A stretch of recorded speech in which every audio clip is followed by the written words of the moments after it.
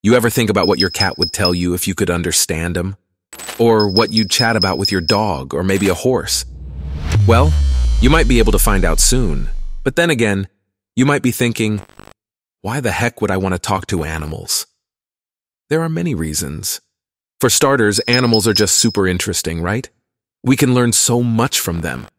They see the world in different ways, feel different emotions, have their own unique cultures, and even have different forms of intelligence. So how can AI help us achieve this dream of talking to animals? Well, there are two main ways. One is by using AI to analyze animal sounds and behaviors, and the other is by using AI to generate animal sounds and behaviors. Let's start with the first one, using AI to analyze animal sounds and behaviors. This is where we use AI to decode the meaning behind the noises and gestures that animals make. For example, you might have heard of the famous Koko the gorilla, who learned sign language and communicated with humans. She was able to express her thoughts and feelings, and even make jokes and lie. She was an extraordinary example of interspecies communication. But what if we could do that with any animal without having to teach them sign language? What if we could just use a device that could translate their sounds and behaviors into human language and vice versa? Well, that's exactly what some researchers are trying to do. One of them is Con Slobodchikoff, a professor emeritus of biology at Northern Arizona University. He has been studying prairie dogs for over 30 years, and he has discovered that they have a very sophisticated language system. Prairie dogs can make different sounds for different predators, such as hawks, coyotes, or humans. They can also describe the size, shape, color, and speed of the predators. They can even communicate about abstract concepts, such as time and space. Slobodchikoff has developed an AI system that can translate prairie dog sounds into English words. He calls it the Prairie Dog Translator. He hopes that this technology can help humans understand prairie dogs better and prevent them from being exterminated by farmers who see them as pests. Another researcher who is working on animal communication is Denise Herzing, the founder of the Wild Dolphin Project. She has been studying dolphins for over 35 years and she has observed that they have a complex social structure and culture. Dolphins can make different sounds for different objects, actions, and individuals.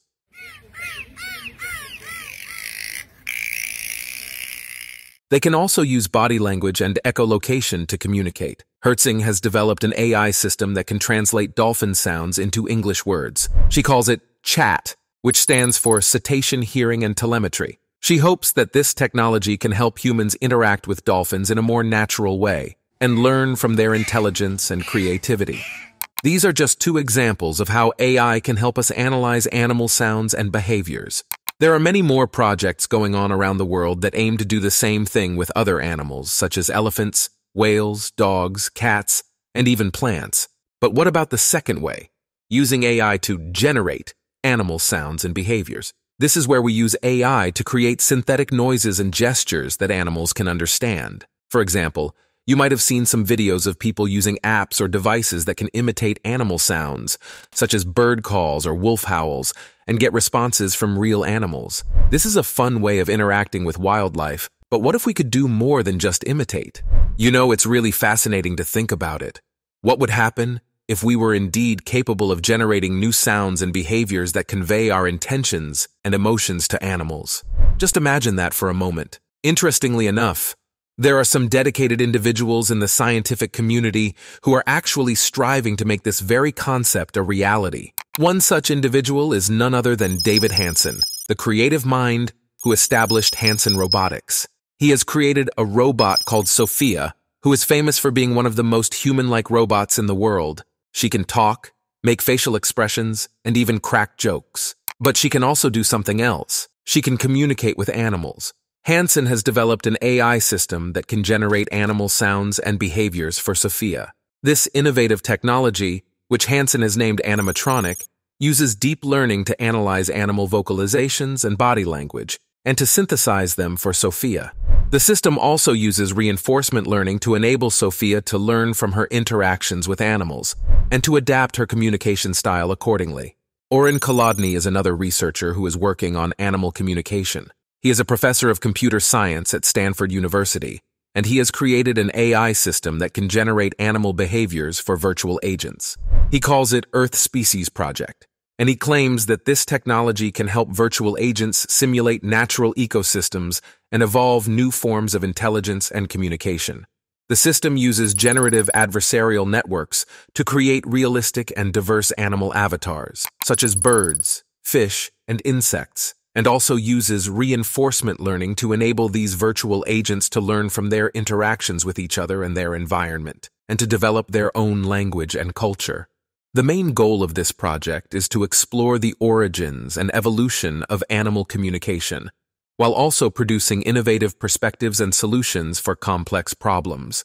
There are many more projects going on around the world that aim to do the same thing with other forms of media, such as video games, movies, or art. So as you can see, AI is changing the game when it comes to animal communication. It is opening up new possibilities for understanding and interacting with other species, and for discovering new aspects of ourselves. It is also raising new challenges and ethical questions such as how do we respect the autonomy and dignity of animals?